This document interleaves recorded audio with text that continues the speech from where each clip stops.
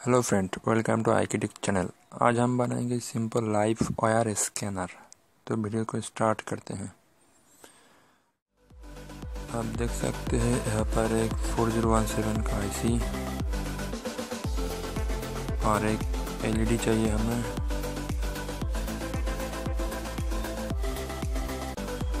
और general purpose printed circuit board 3.7 volt का एक बैटरी और एक रे, रजिस्टर 120 ओम का।